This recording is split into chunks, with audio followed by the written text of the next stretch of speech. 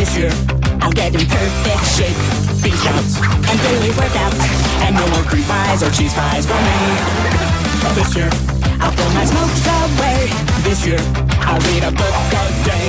Also, I'll learn the cello and master Spanish and French and Chinese. This is the year I'm giving up all today. I'll enroll in a yoga class where I'll achieve true inner peace as well as a fun little ass. The road is all uphill. This year we know we can and will do it till we say screw it before the end of the first week is here.